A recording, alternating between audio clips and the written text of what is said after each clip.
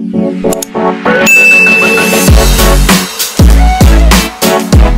guys, welcome back to another video.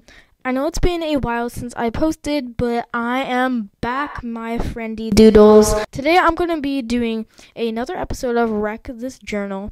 I posted a poll like really recently about what more content you guys want to see, and surprisingly the answer was Wreck This Journal.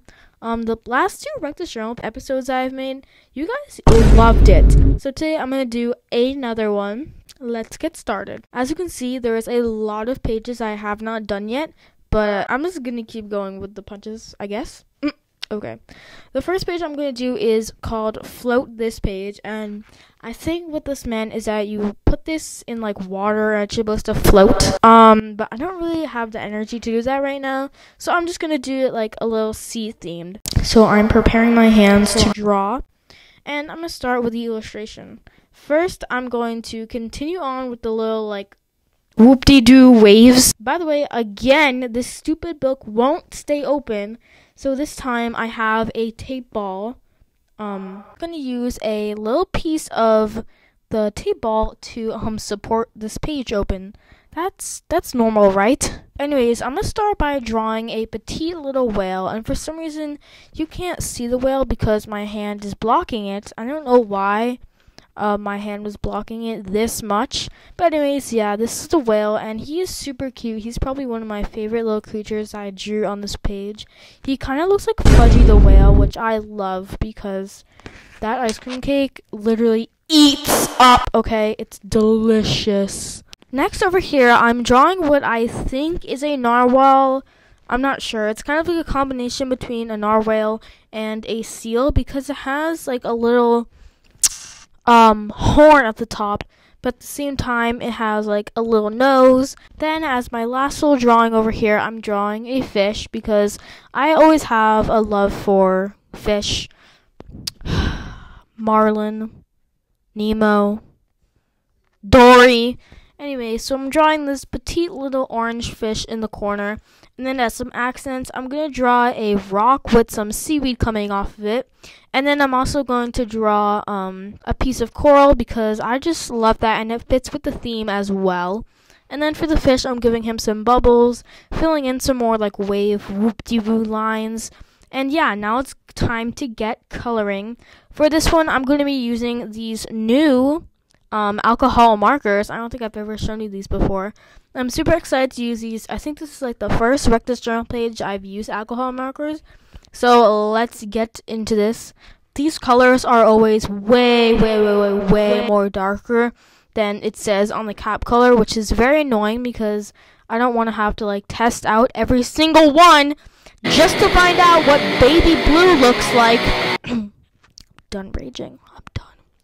Anyways, the rest of the coloring was mostly pretty smooth after that, finishing the final details.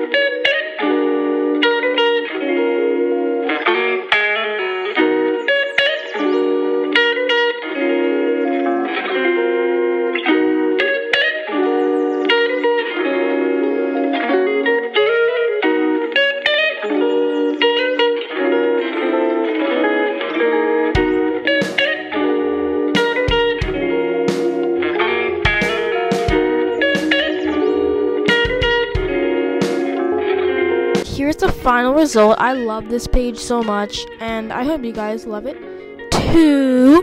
Now let's move on to the next one. So the next page and last page I'm going to be doing today is called create a continuous line and basically there is a start box and then there's the next page.